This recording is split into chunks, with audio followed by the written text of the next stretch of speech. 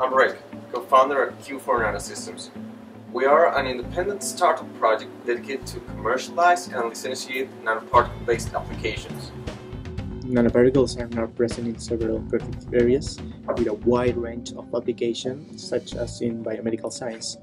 Um, nanoparticles in this market are used as fluorophore attached to antibodies, uh, in which they have proven their superiority by having a greater stability and sensibility.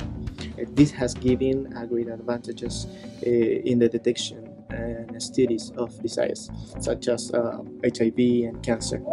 However, the current nanoparticles uh, used for this application are made of heavy metals, which are toxic. Our reference quantum dots uh, represent a cheap and non-toxic nanoparticle ideal for the biomedical area. Um, all of this without the risk uh, of losing the sensibility of which quantum dots are preferred as a fluorophore. The legal complexity involved in this startup needs to be permanently attended by a lawyer.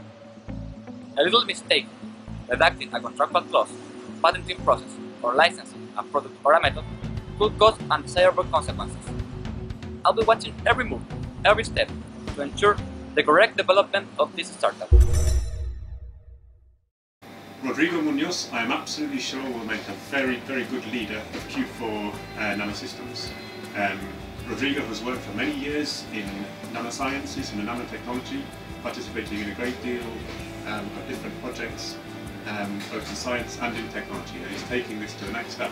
They are very well connected, they are working with the top scientists in Chile, and is uh, going to fulfill an important gap that exists in, in Chile, which is the connection between science and the productive sector. It's a very novel and important initiative I would encourage you to support it. Nanoparticles market is going to grow very quickly in the next five years and Q4 has the potential to produce nanoparticles in response to market needs. Ojalá que haya más ejemplos como estos chicos porque de, de verdad, de verdad que es importante empezar a dar valor agregado a las cosas, a los productos sobre todo de Chile y esa es la manera en que nos vamos a convertir y vamos a dejar de ser un país que solo vende materias primas, vamos a empezar a, a vender un poco nuestra idea y a vender un poco lo que podemos desarrollar. if they are successful, they will be an example that many other people are going to follow.